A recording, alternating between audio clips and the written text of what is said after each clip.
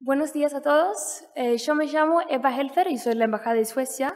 Y en la Embajada trabajo mucho con el comercio, la educación y em, también los derechos humanos. Y primero quiero agradecerles por esperándome hasta el fin del día. Eh, siempre es muy difícil ser la última, ¿no? Porque quieren ya irse a almorzar y todo esto. Eh, pero es con mucho gusto que estoy acá hoy para contarles un poco sobre las oportunidades de hacer negocios en Suecia. Y no me parece una buena idea de hablar mucho de las cifras, porque ya eh, han recibido mucha información de cifras, ¿no? Entonces voy a hablar un poco más del medio ambiente, el entorno de Suecia para hacer negocios. Y bueno, para entender el mercado sueco hay que saber un poco de nuestra historia. Y Suecia era un país bastante pobre en el comienzo del siglo XX casi el 20% de la población dejó el país para buscar un eh, mejor, futuro, si fueran a Estados Unidos y a otros países europeos, porque no había comida para la gente ni un prospecto del futuro. Eh, entonces, en esta época en Europa había mucho, muchas guerras y, bueno, eh, las guerras necesitan hierro.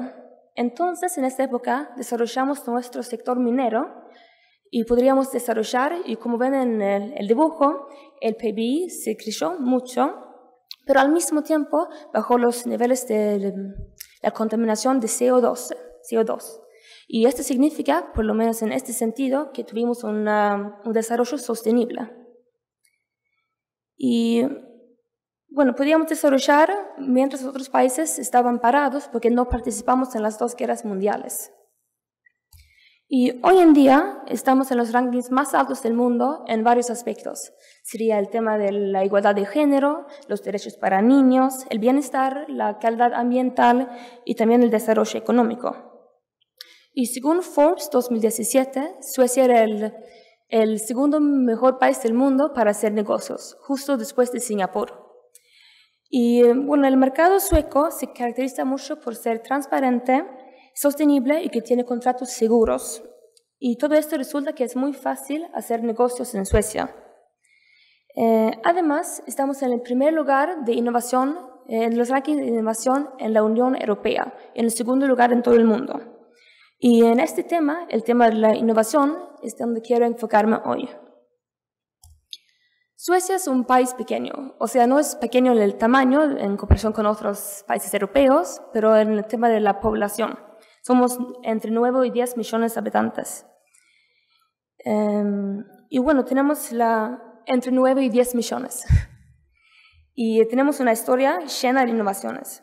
Yo estoy bastante seguro que ustedes eh, acá adentro han usado un evento sueco hoy, como la heladera en su cocina o el cinturón de tres puntos que usan todos los autos. Em, tenemos muchas empresas multinacionales per cápita y muchos no están, eh, a muchos son, de ellas son líderes mundiales en su sector. Por ejemplo, Atlas Copco, H&M, Spotify y IKEA, que todavía no está presente acá en el Perú.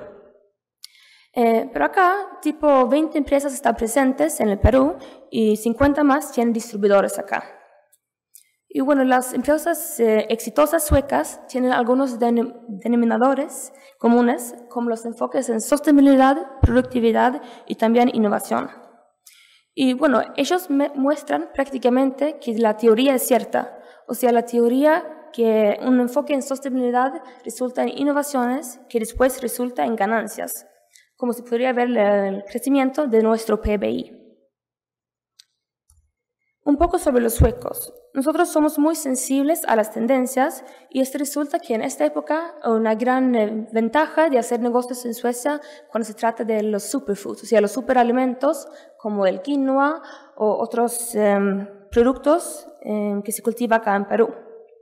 Y el gobierno sueco trabaja mucho con acomodar a las empresas que quieren probar nuevos em, productos en Suecia eh, porque somos los primeros en adaptar a nuevos productos y servicios. Entonces, tenemos un medio ambiente muy bien para probar nuevos productos. Eh, el entorno de investigación en Suecia es una cultura abierta que fomenta activamente el trabajo en equipo, la colaboración interdisciplinaria y la innovación.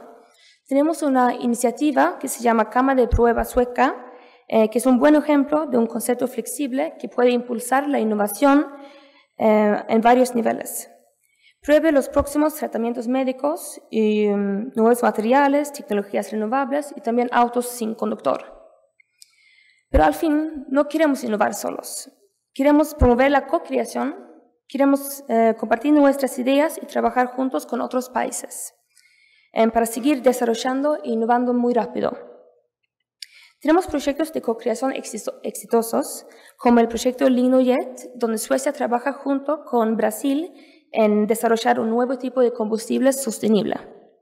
También recién una universidad sueca que se llama LTU, que queda en el norte de Suecia, em, han empezado a trabajar junto con la UNSA, que es una universidad en Arequipa, en desarrollar un, em, un centro de investigación allá que trata de, del sector minero y también em, crear un clúster industrial allá. Suecia es el destino para empresas, inversionistas y personas que quieren ser parte de un desarrollo en un nivel mundial para los que quieren co-crear el futuro del mañana. Y por la parte de la Embajada de Suecia, quiero agradecerles mucho eh, por la atención. Gracias.